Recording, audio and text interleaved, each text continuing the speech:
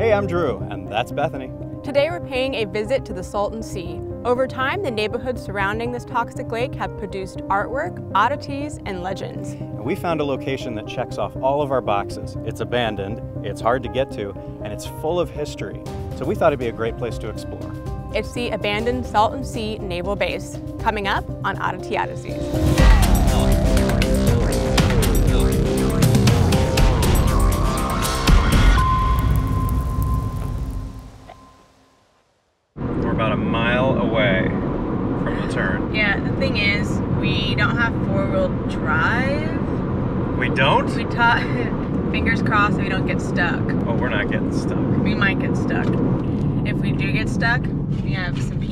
She'll pull us out.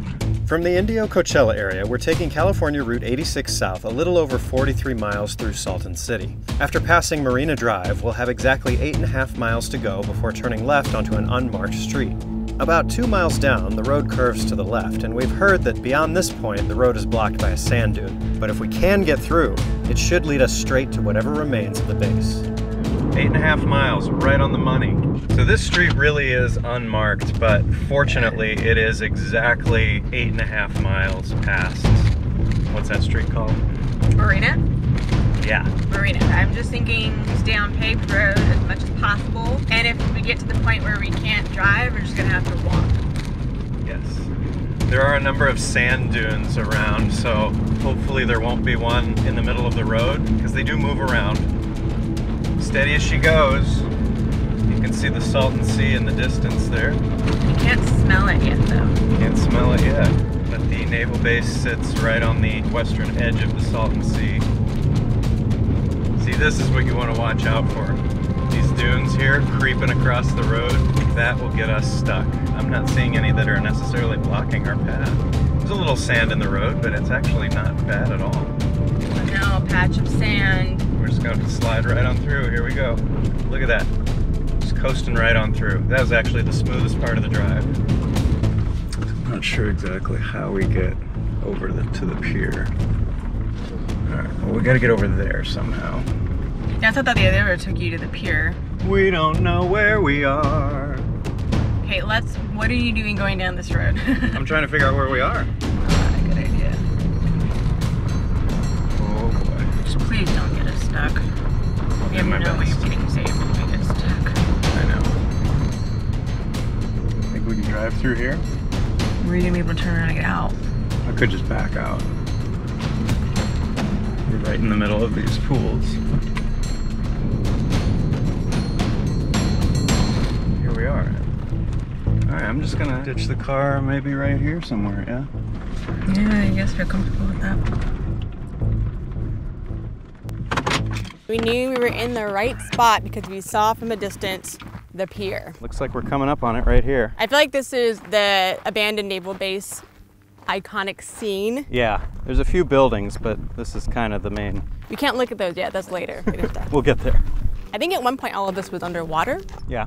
and salt and Sea air. Mmm, fishy. A little fishy. Pretty crazy. These old piers are still out here. You can actually see on some of these the salt comes up all the way to here. So that must have been how high the water was at one point. So the water level's down quite a bit since then. Definitely. Yeah, you can walk out another, I don't know, 100 yards or so out to the water if you wanted to. But uh, in 1942, the film Wake Island was shot here, the exteriors at least. So that's its claim to Hollywood fame. You see, there is still some life here. There's some birds sitting out there on the end of those pylons. And there's an abandoned bird's nest up here. So somebody used to live there. Yeah. Well, we got a couple more buildings over here we're to go look at. So let's head over.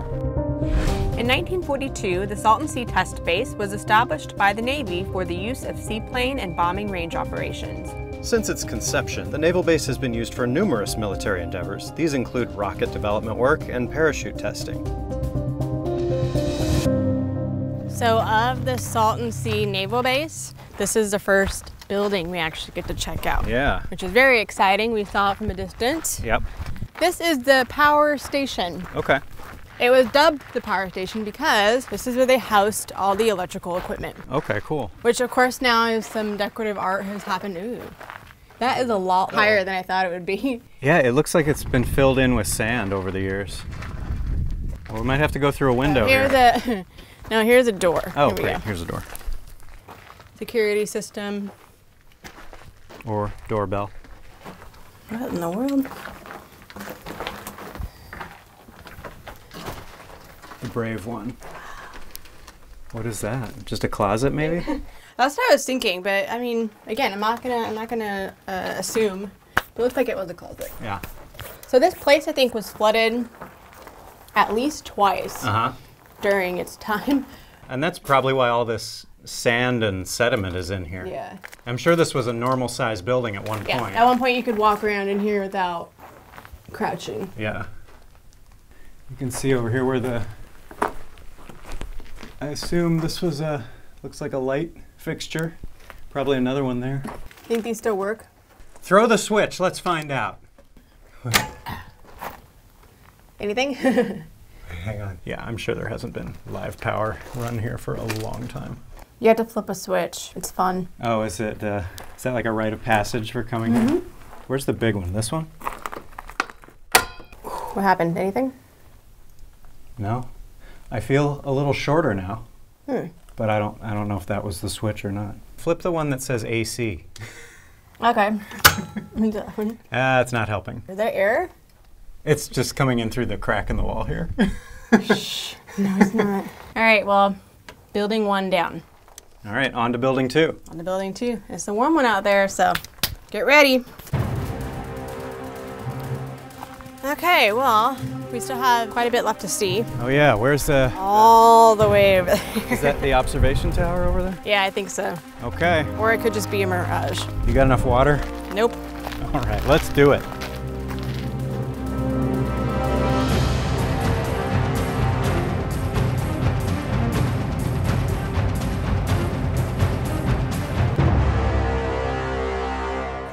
That time we thought about getting some kind of motorbike or quad? Yeah. And we didn't.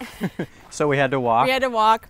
yeah, good Um, times. But that's okay because this is one of our one of the buildings that we really wanted to see, right. and um, we actually get to go inside this one. Oh, very cool.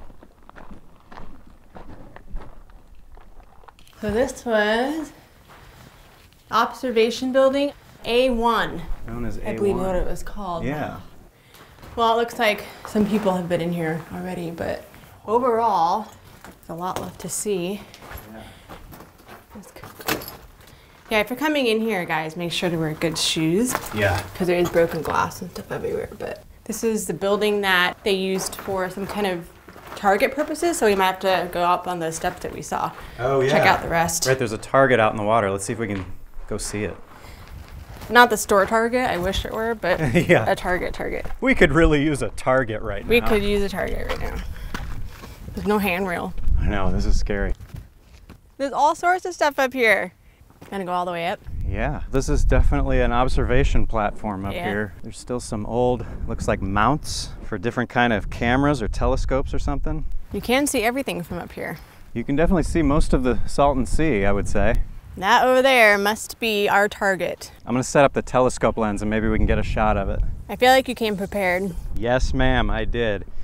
The reason I brought all this stuff and this giant lens uh, will become apparent in a moment.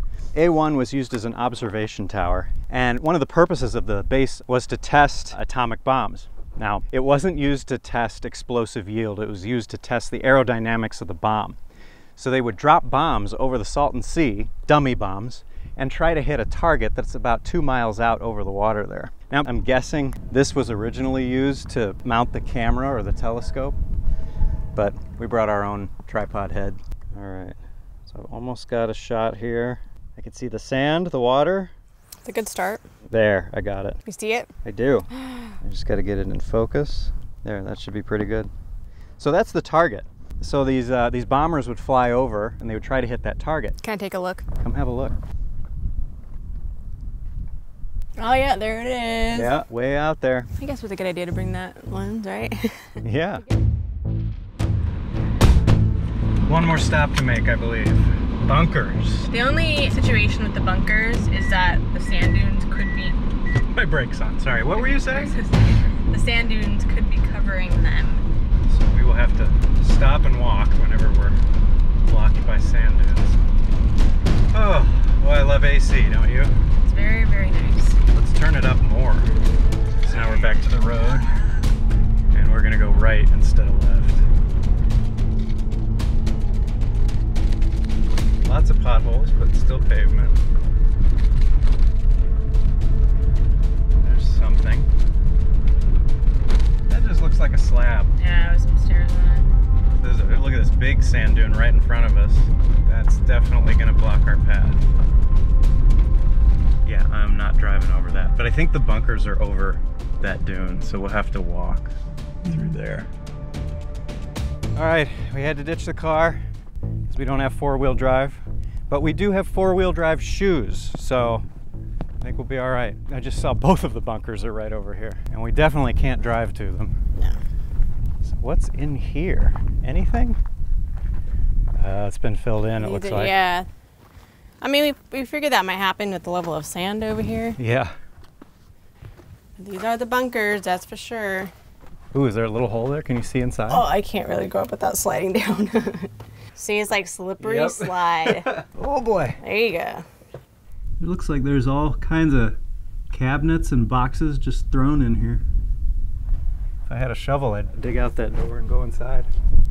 Ah, bunker number two. The sand-filled bunkers. Yeah. We can't really get in there. I think unless we, because the sand is like really slippery. Ah.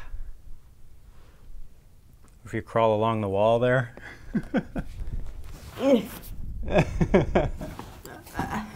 you don't have to. I don't think there's anything back there to see, but Uh, yeah, it looks just empty. I mean, people have left some stuff behind, but Yeah.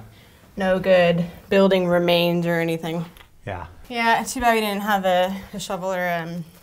Or uh, like a backhoe, Yeah, that would take a while. I think it's too hot for that. probably. But we found them. Yeah. Heading back.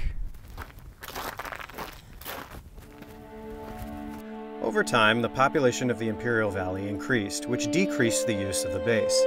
Eventually, the Atomic Energy Commission, which acquired the base in 1946, moved operations to a remote location in Nevada.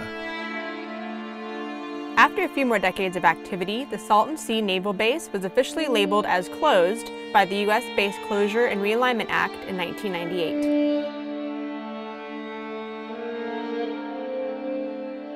As it stands, this desolate naval base, a place very much once alive, has become another secret of the Salton Sea. And if you'd like to come visit it yourself, be sure you plan ahead. Check the weather, make sure it's not too hot out here, and bring a four-wheel drive vehicle definitely if you want to see all the locations. If you enjoyed this video, please give it a thumbs up and consider subscribing so you can stay updated on all of our new adventures.